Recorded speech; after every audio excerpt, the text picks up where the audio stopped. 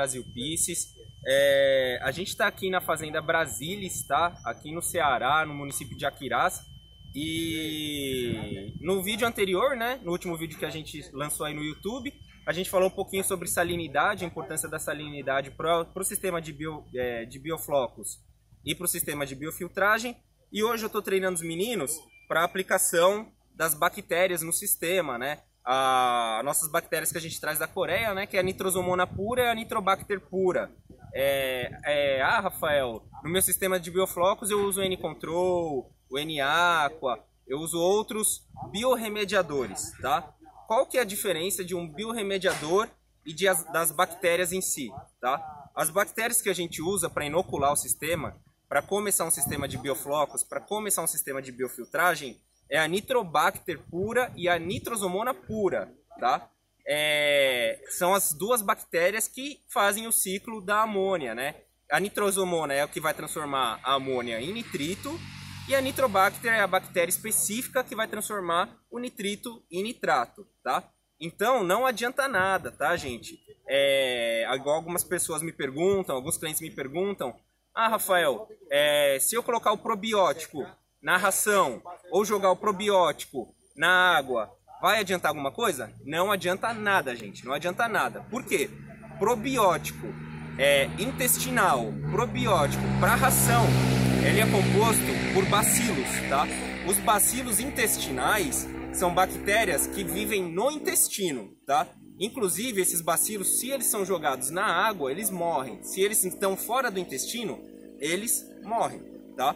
Por quê? Porque o ambiente de um tanque de escala, um tanque de produção, é um ambiente cheio de bactérias hostis, de protozoários hostis, e um ambiente muito hostil para uma bactéria intestinal que tem uma flora, que tem um, é, um controle de temperatura, que tem um fornecimento de, é, é, de proteína, na verdade, na verdade não é nem de proteína, já é de aminoácidos, né, que é proteína quebrada, de, é, de lipídios, que é a gordura quebrada, então tudo isso é, já chega tudo mastigado para a bactéria, então ela tem um conforto, ela tem um ambiente de conforto.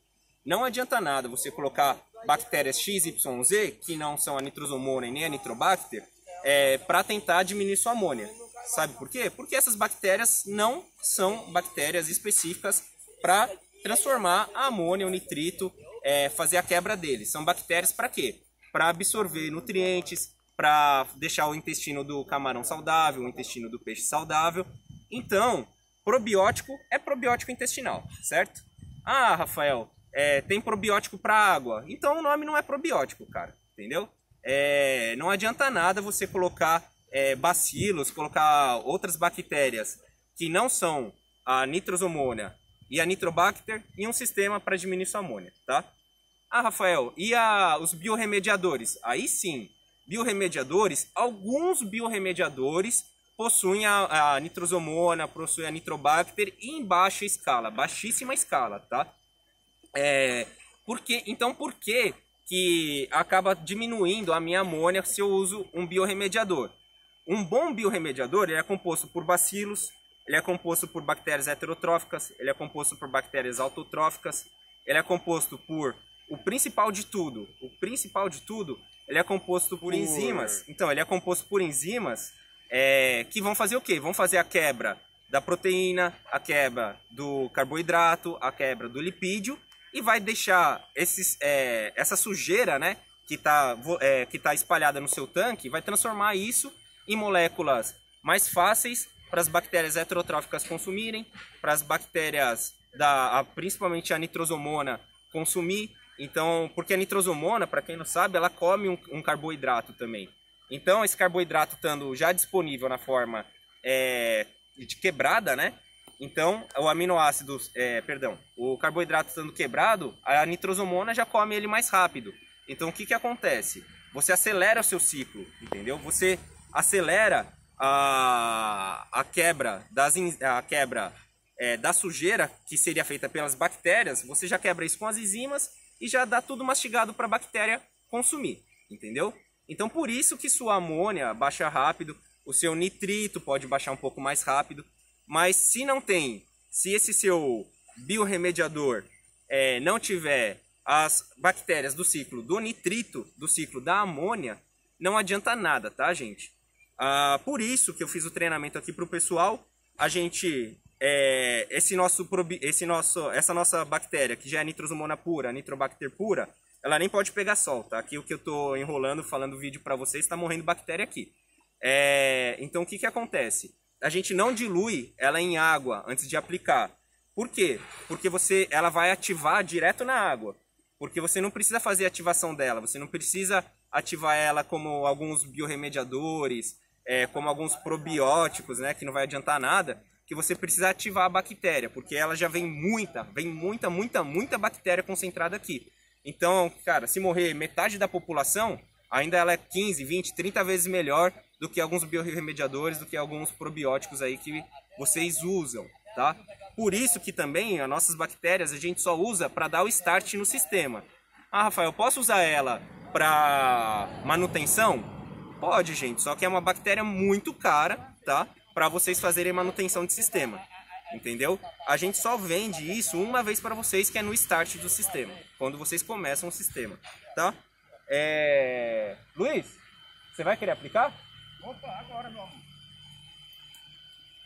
Então o Luiz, que ele vai ser o responsável aqui, ele vai aplicar duas coisas importantes, Luiz. É, aplicar ele perto da água, tá? Porque principalmente em lugar que venta muito, igual aqui, se você aplica muito longe da água, o vento bate e acaba carregando essas bactérias com o vento. E se você perder 2 gramas, 3 gramas disso aqui, cara, você está perdendo muito dinheiro, tá? É, então aplica bem pertinho da água.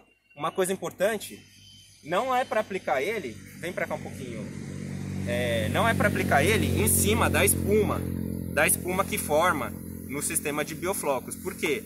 Essa bactéria ela precisa de água para sobreviver.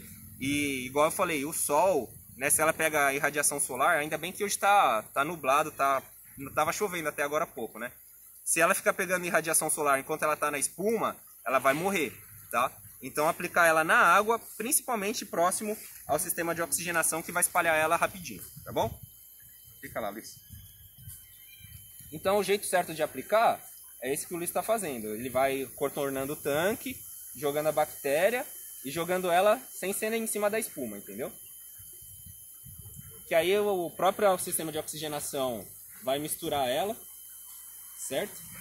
E vai deixar ela homogênea no tanque. E aquele cano azul que vocês estão vendo lá do lado do Luiz é o, é o sistema de retorno de água dos nossos decantadores, né? Do nossos decantadores aqui de bioflocos. Ele está desligado porque é, a bomba ela é muito forte, então ela trabalha é, um tempo desligado, um tempo ligado, tá? Ah, e vocês notaram que o Luiz ele enxagou muito bem o, a, o potinho. Para quê? Para você aproveitar tudo que tem de bactéria aqui dentro, certo? Então, resumindo o vídeo de hoje, o que, que é importante, gente? Vocês saberem diferenciar probiótico de ativador biológico, que é o nosso ativador biológico. Você diferenciar biorremediador de ativador biológico, tá? É... E você saber que probiótico vai te ajudar a diminuir a amônia é, indiretamente. Ela vai te ajudar a diminuir a amônia é, ajudando o camarão, o peixe, a absorver melhor os nutrientes intestinais para ele não jogar esses nutrientes no cocô, certo? É, os biorremediadores, eles têm é, as enzimas, isso é importante para vocês saberem. O foco do biorremediador é enzima e bactéria heterotrófica, tá? que é a bactéria que vai comer a sujeira. Essa, essa é o principal foco do biorremediador. Ele não é tão bom né, para você fazer ativação de sistema, ok? E o ativador biológico é, não é tão bom para fazer a manutenção. Para fazer a manutenção, o biorremediador é melhor. E para ativar o sistema, para dar start no sistema, o ativador biológico é muito, mas muito, muito melhor. Tá bom? Então é isso aí que eu tinha para falar para vocês. Obrigado, trabalhe com os melhores e entre em contato com a gente no 11 20 21 5593, no contato arroba brasilquiz.com.br, tá? E deixa, se inscreve aqui no nosso canal do YouTube e se inscreve principalmente no nosso Instagram, que o nosso YouTube está um pouquinho largado, que a gente está com muito projeto. E no Instagram tem quase todo, todo dia vídeo de besteirinha, nosso dia a dia, esse tipo de coisa, tá bom? E no nosso Facebook também. É isso aí. Obrigado, gente. Até mais.